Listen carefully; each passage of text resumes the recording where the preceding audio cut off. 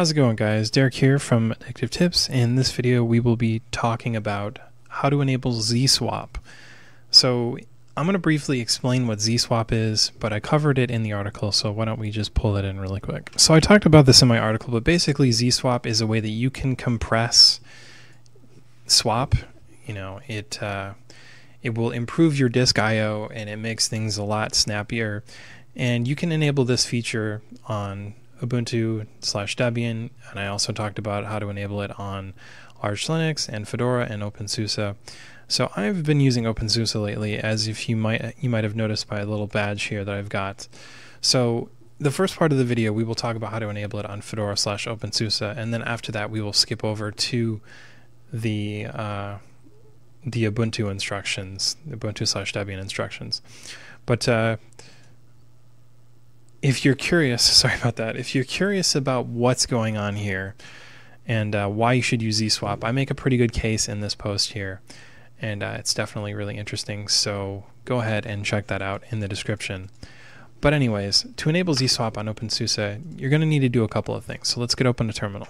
So once you've got a terminal open, you need to gain root access. Now, unlike Ubuntu and Fedora, there's you know, or sorry, unlike Ubuntu and Debian, there's really no need to worry about sudo because both of these operating systems don't disable the root user.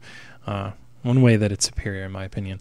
But uh, so just gain root, and uh, once you do that, you can go ahead and add cd to default. Once you're in default, you can create a backup. Now, the grub file is where your system generates a lot of the configuration files for your grub system. So we're going to need to make a quick backup of it.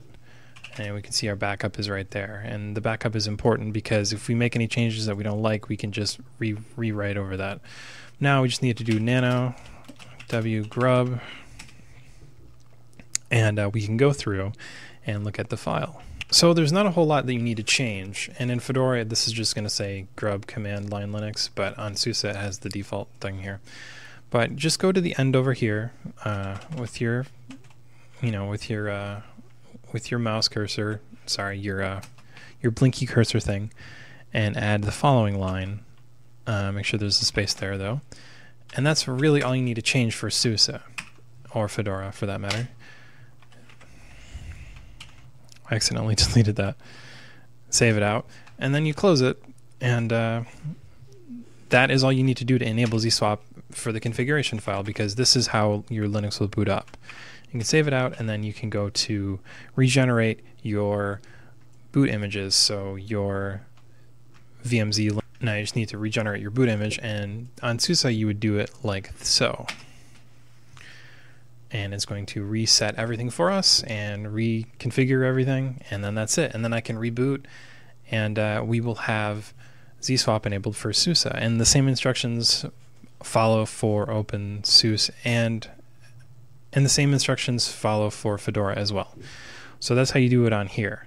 So now we're going to skip over to the Ubuntu instructions so the instructions on Ubuntu and by extension Debian really aren't that different uh, from SUSE. The only real difference is the where grub is pointed to on Fedora and OpenSUSE.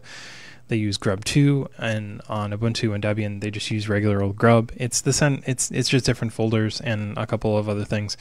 But to start off, you're going to need to open up a terminal and gain root. You do that with sudo s. Then you need to go to cd etc default and we need to find the grub file.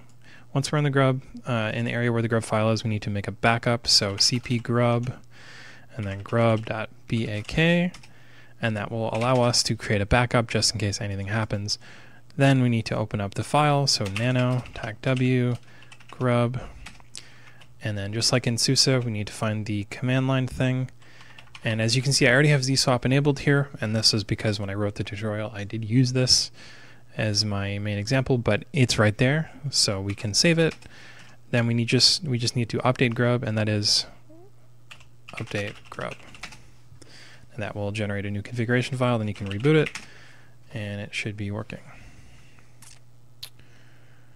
And uh, I'm rebooting it, and I'm filming it and rebooting because this is a VM, but uh, couldn't show you that with the other one because obviously that's my main OS. And uh, but yeah, that's how you enable ZSwap. Uh, pretty easy to turn on. Um, I think it's worth using. Anyways, guys, I got to get going, but I will see you in the next video.